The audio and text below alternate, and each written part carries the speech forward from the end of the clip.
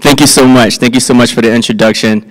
Uh, before I begin, uh, I would like to say I know we're at our final stages in the conference, so I would try to be as quick as possible and engaging, but I will need your support, okay? First and foremost, thank you Health 2.0 and Food 2.0 for the introduction and inviting me here. It's an honor and a pleasure. My name is Aaron Warrick. I am the co-founder and CEO of Reju. I am a Philadelphia native, a mental health and STEM advocate, and I am here today to speak on AI-based predictive analytics. One second, uh, my apologies.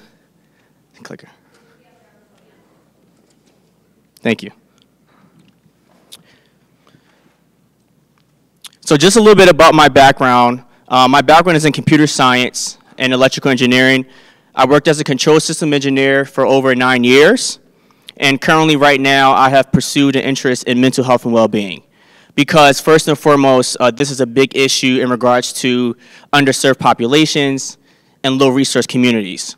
Also, personally, I have friends, family members, um, close relatives who have demonstrated mental health issues. And this provides passion and purpose in the work that I do. Think smarter, not harder. Can we outsmart mental health with AI-based predictive analytics? This is the question I pose to you today.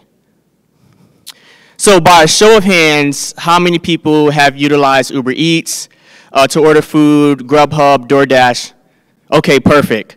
So every day I receive a notification on my phone at 1 p.m. to order from my favorite Caribbean restaurant spot, Jam Dung, in Washington, D.C. It's great. I love the food. If you're ever in D.C., please try it out. So I asked myself one day, how the heck, I didn't say heck, how the heck does Uber Eats know what I want to eat at the precise time? And they noticed through trends and, learn, and, and learning behavior. And what they learned is that, first and foremost, I'm fat and I'm greedy and I need to slow down on my ordering out. But more so, they realized that this is predictive analytics and this is consumer data that we can utilize to bolster our product. So what is AI-based predictive analytics? It's the use of statistical algorithms, modeling, machine learning techniques, and predictive analytics to determine the future based on current and historical trends and data.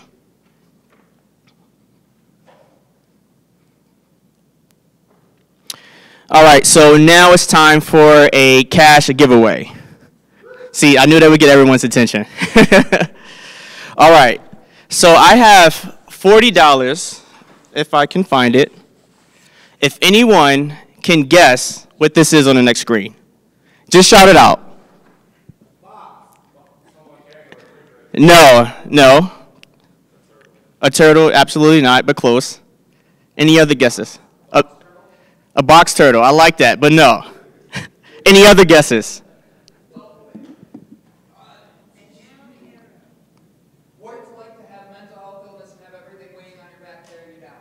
You know what? That's not it. But I love that. so, so the point here is not about the giveaway or the money.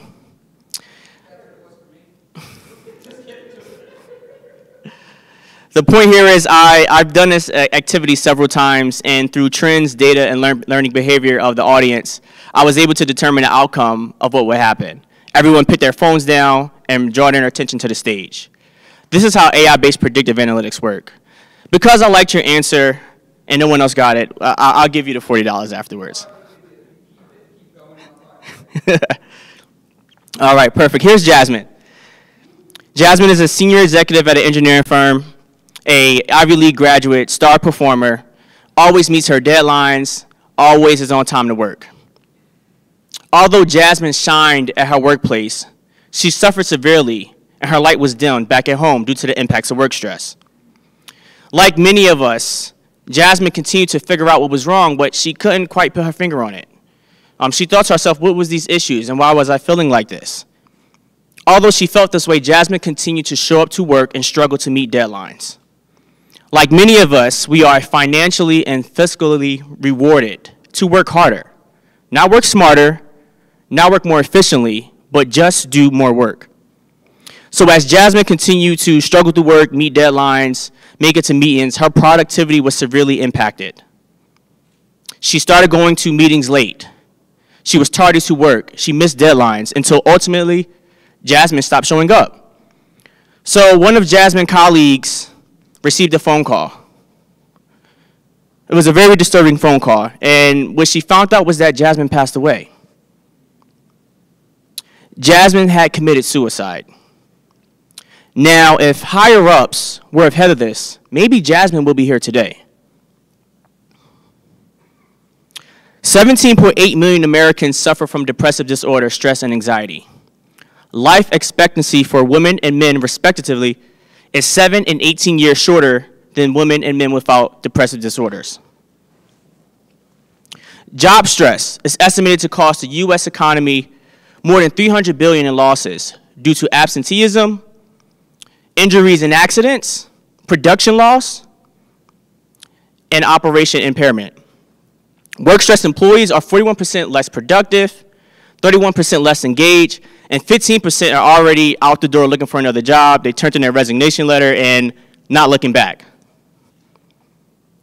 So I ask you, if we can get ahead of the work stress, the work stress impacts of mental health, then maybe we can positively influence the health and well-being of employees and individuals and also promote corporate growth. And with AI-based predictive analytics, we can, and here's how. Reju is leading the charge in AI-based predictive analytics by capturing useful data regarding the state of mental health to better measure, determine, and improve well-being outcomes. Reju is a holistic wellness and mental health application that serves as a personal guide to mental, physical, and emotional success. We encourage our users to live their best lives by equipping them with bite-sized pieces of wisdom, guidance, and inspiration. Reju provides peer-to-peer therapy sessions, bridging the gap between end users and licensed practitioners worldwide. With the ability to chat one-on-one with wellness experts or schedule one-on-one video therapy sessions with therapists, all powered by AI technology and machine learning techniques. We do this by collecting specific inputs, such as key performance indicators, data, metrics, wellness assessments, and looking at user behavior and learning behaviors. We aggregate this information, and we provide it in the form of outputs, such as relevant and resourceful wellness solutions. These solutions may include suggested practitioners, therapy sessions, timely in-app notifications, progress reports, and other resourceful and relevant content and publications and wellness tips for our users. What are the benefits? Developing wellness programs that support the mental health in the workplace of individuals should be a priority to senior leaders, executives, managers, supervisors, and HR professionals. AI-based predictive analytics can save organizations three to four million dollars in annual costs and losses due to accidents, absenteeism, impaired operations, and production loss.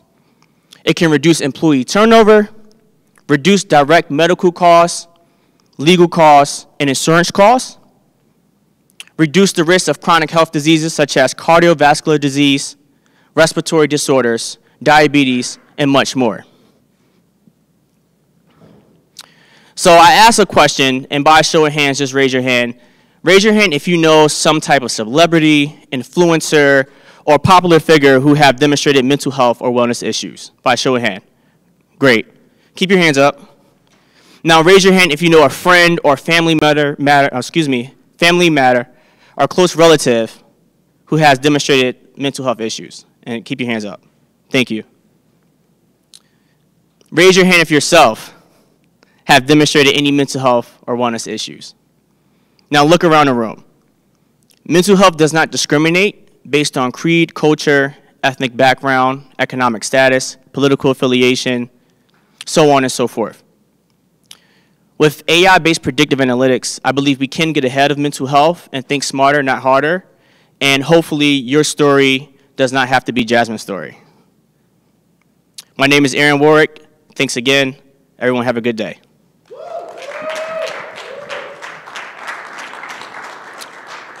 Uh, I'm not sure if I have time, but is there any questions or comments from the audience? You're good, take your time. I'll yell if I have to. So, I just downloaded your app, and I, I spoke up there, I've been very raw on mine, I have bipolar 2 disorder and all this. With that, is this just for businesses, or would you say this is for people like me who can actually turn around and connect with a therapist, and how would I be able to use this to better my employees, such as someone like this guy right here who drives me nuts? Great question, and thank you for that.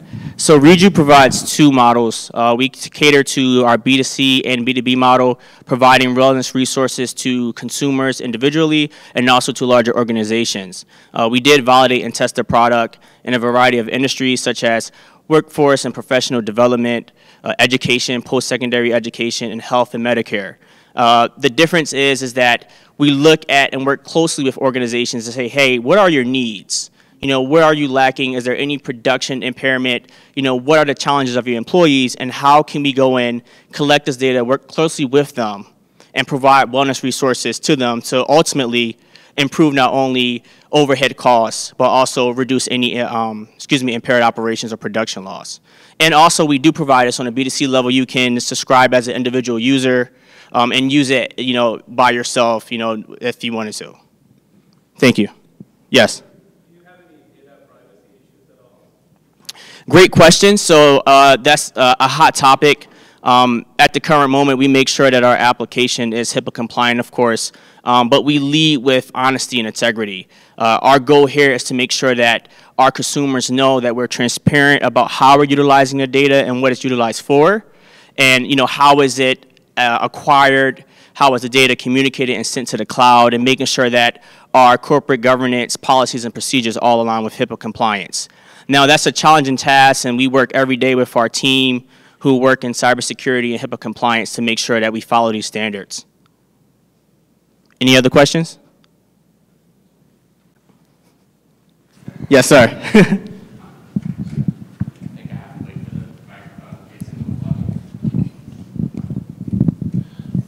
So uh, first of all, thank you. Um, uh, mental health is a serious problem uh, for me. It's a problem for my child. It's a problem for my wife. Um, it, it, depression runs deep in our family, um, and uh, I, I, just want to say thank you for for spending any time on that. It's uh, something that people were not worried about before. That's that that they have that. Um, we we're really a small company. We don't have a whole lot of uh, um, capital to spend on something like that. I know two of my two of my employees are um, ex-military, and I know that they have tons of problems and they don't want to talk to anyone. So having an app like this would be great. I just don't know if uh, we can do it cost effectively.